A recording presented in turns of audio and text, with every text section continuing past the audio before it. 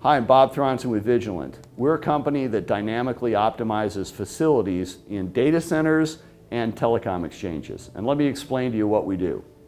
So today in data centers and telcos, you know, the IT side is very dynamic. You know, you may have enterprise data centers or telecom exchanges and data is going back and forth. It may go back and forth to the cloud. Also may go to the edge. You have LTE or 4G uh, equipment you're putting in the edge facilities. So what happens is you've got all this dynamic IT load going on.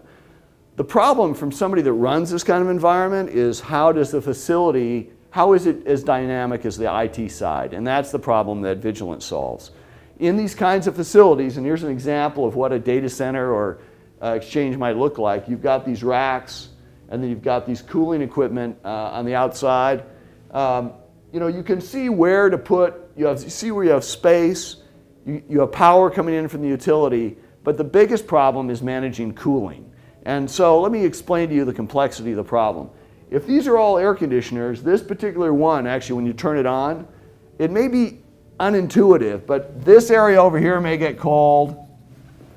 This area over here may get hot. This area up here may get cold.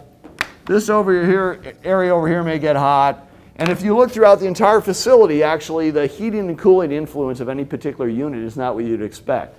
And the complexity also is the same for these other units. So how do you solve that problem? And that's what Vigilent does. So we, in these environments, we put in machine learning software and analytics that in real time adjusts the uh, cooling on off or fan speeds to make sure the temperatures are where they need to be all the time. So as I mentioned, we have hundreds of deployments worldwide, and this is what happens. So first of all, the results within a day, hotspots up here go away. The system eliminates hotspots in the room. So that improves reliability. Secondly, energy in the room. Cooling energy typically is reduced by about 40%. And that happens again the first day or so the system's turned on.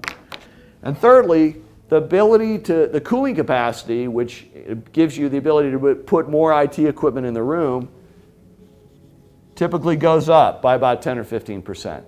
So those are the three benefits you get with Vigilent. Uh, we've got customers like TELUS, Verizon, NTT, Spark. Um, I could go on, but we'd like to talk with you about what we do.